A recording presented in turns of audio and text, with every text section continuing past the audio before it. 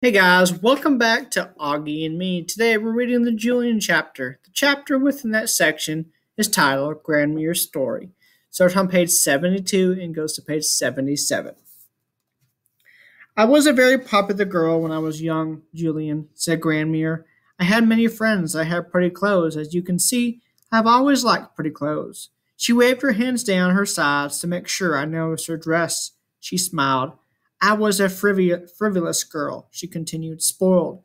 When the, when the Germans came to France, I hardly took any notice. I knew that some Jewish families in my village were moving away, but my family was so cosmopolitan. My parents were intellectuals, atheists. We didn't even go to synagogue. She paused here and asked me to bring her a wine glass, which I did.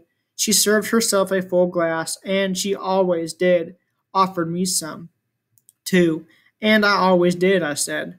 Non mercy. Like I said, Mom would go ballistic if she knew the stuff Grand, Grandmere did sometimes. There was a boy in my school called, well, they called him Tor- Torte, Tourteau, she continued. He was, how do you say the word? A crippled? Is that how you say it?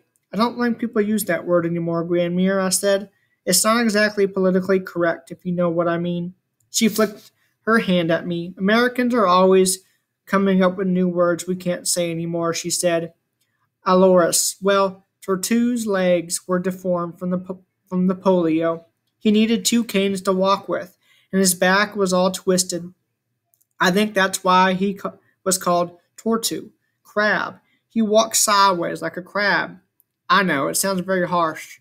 Children were meaner, meaner those days. I thought about how I called Auggie the freak behind his back, but at least I never called him that to his face.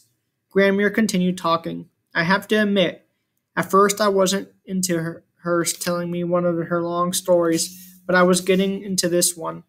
Tourteau was a little thing, a, a, a skinny thing. None of us ever talked to him because he made us uncomfortable. He was different. I never even looked at him. I was afraid of him, afraid to look at him, to talk to him afraid he would accidentally touch me. It was easier to pretend he didn't exist. She took a long sip of her wine. One morning, a man came running into our school. I knew him. Everyone did. He was Maquis, a partisan. Do you know what that is? He was against the Germans.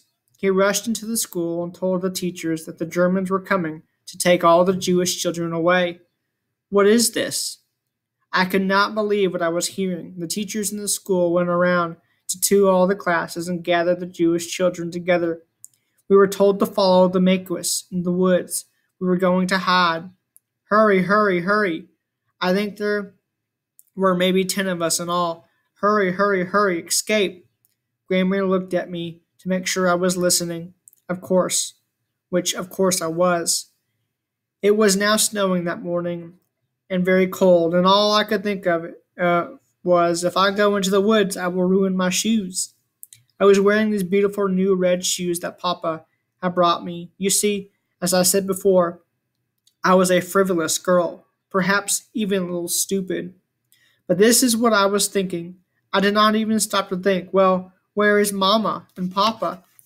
If the Germans were coming for the Jewish children, had they come for the, the parents already? This did not occur to me. All I could think about were my beautiful shoes.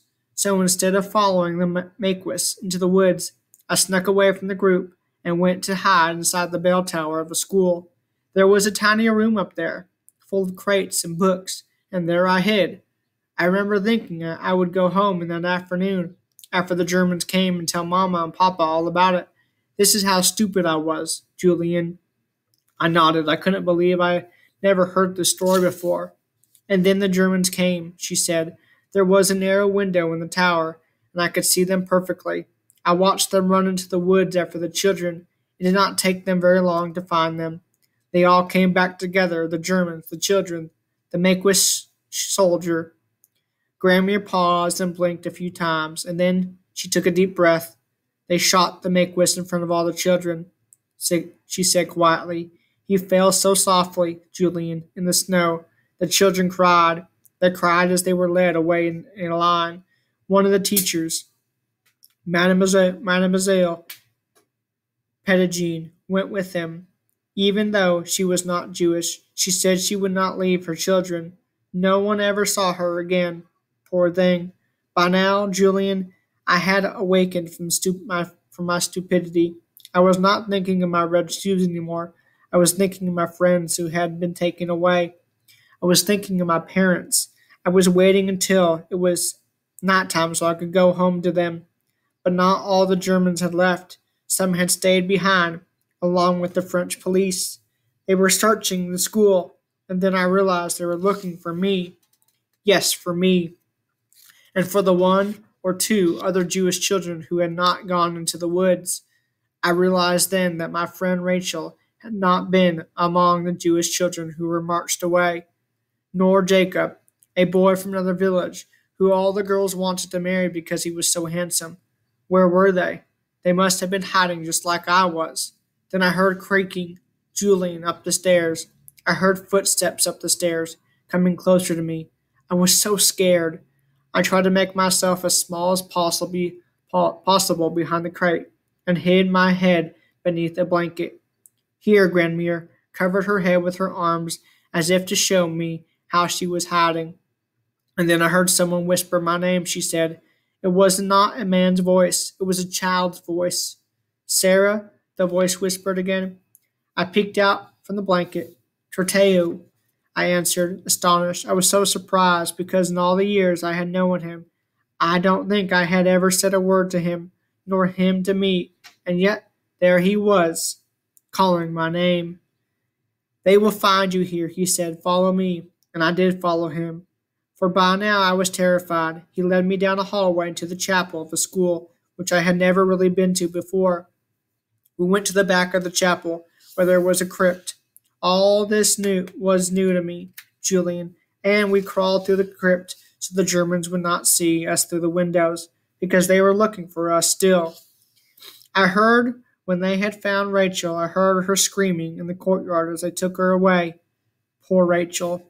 Tourteau took me down to the basement beneath the crypt. There must have been one hundred steps at least.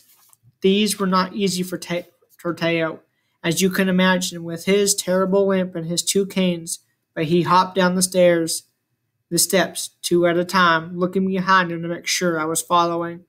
Finally, we, we arrived as a pass, at a passage. It was so narrow we had to walk sideways to get through. And then we were in the sewers, Julian. Can you imagine? I knew instantly because of the smell, of course.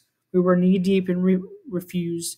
You can imagine the smell so much from our red shoes. We walked all night. I was so cold, Julian. Tourteau was such a kind boy, though. He gave me his coat to wear. It was to this day the most no- noble act anyone has ever done for me. He was freezing too, but he gave me his coat. I was so ashamed for the way I had treated him. Oh, Julian, I was so ashamed. She covered her mouth with her fingers and swallowed. Then she finished the glass of wine and poured herself another. The sewers led to Dan Danavillers, a small village about 50, 15 kilometers away from Aubervillers. Mama, Maman and Papa had always avoided this town because of the smell. The sewers from Paris drained onto the farmland there. We wouldn't even eat apples growing in Danavillers, but it's where Tourteau lived. He took me to his house and we cleaned ourselves by the well. And then Tourteau, brought me to the barn behind his house. We wrapped he wrapped me up in a horse blanket and told me to wait. He was going to get his parents. No, I pleaded. Please don't tell them. I was so frightened. I wondered if, when they saw me, they could call the Germans. You know, I had never met them before.